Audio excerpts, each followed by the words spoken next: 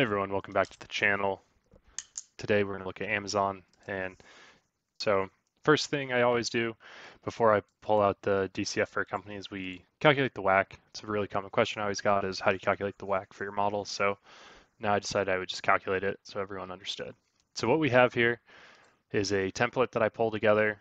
Market value of equity, 1.59 trillion. This just comes from Yahoo Finance. Market value of debt, this is going to come from their most recent 10K. We have a debt schedule here. And if you actually go over to their 10K and go to page, I think it's 56 in here, you'll see how I pulled this together if this is something you want to do yourself. You'll see 2012 notes, 14, 17, and 20. And then on top of that, they have the credit facility and other long-term debt. You'll notice for other long-term debt and credit facility, they actually don't have the effective interest rate listed. So there's an NA here, but I'll walk us through real quick.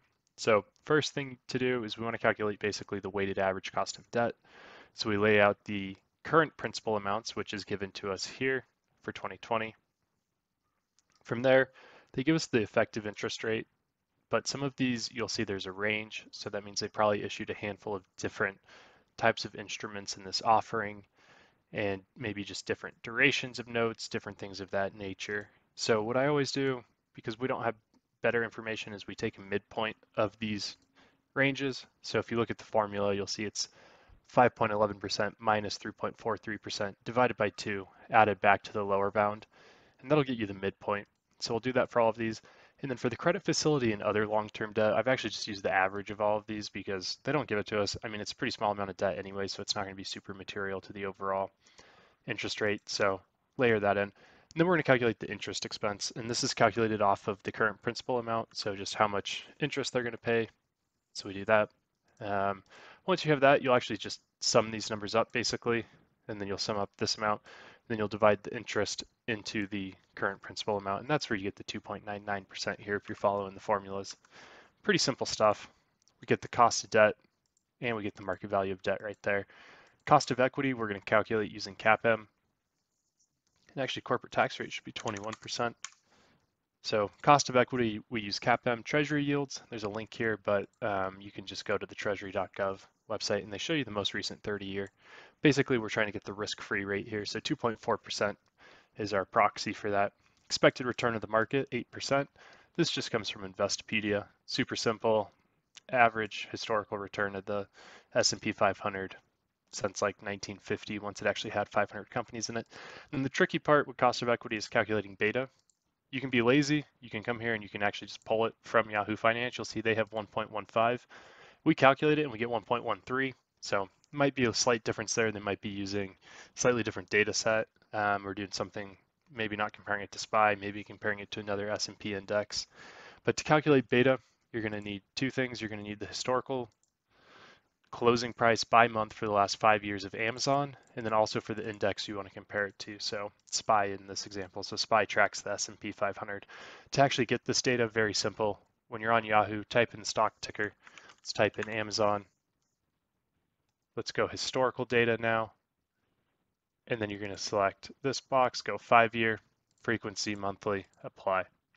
From here, you'll hit download. It's going to download a spreadsheet open up that spreadsheet and you're just going to copy the adjusted close column, paste it in, and then I always just make sure my dates line up.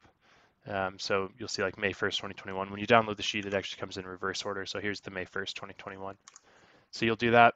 You'll do the same thing, search for SPY.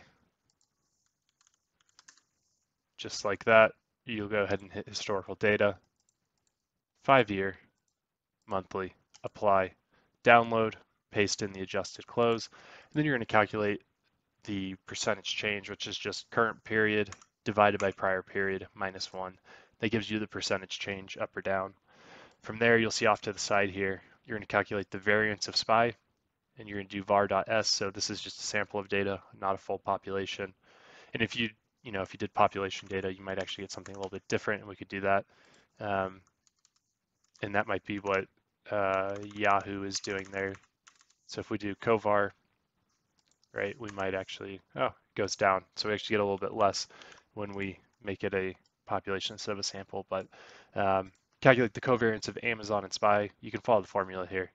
And then the beta is just the covariance divided by the variance. And if you're not familiar with beta, what this is, is basically if the S&P were to move 1%, we would expect Amazon to move 1.13%. And this goes for both up and down. So if S&P goes up 1.13, 1%, we go up 1.13. If it goes down 1%, we go down 1.13. So this just says we're a little bit riskier per se than the broader market is how we're, we're valued based off, or how we're looked at based off our stock returns. And then from there, you get your cost of equity. You can follow the formula. It's just a CAPM formula. Um, and then from there, right, cost of equity, corporate tax rate, and we get our WACC. WACC is just the proportion of debt and equity times their respective rates and then added together. So you do, you know, 3% times 33 billion divided by basically 1.62 trillion. That's times 3%, which is going to be a pretty small number. Um, and then same thing with cost of equity, you do 1.59 divided by the 1.62 trillion times 8.7, and you'll see you get a WACC of 8.6. So basically their cost of capital is really just their cost of equity because they have so little debt in comparison to equity.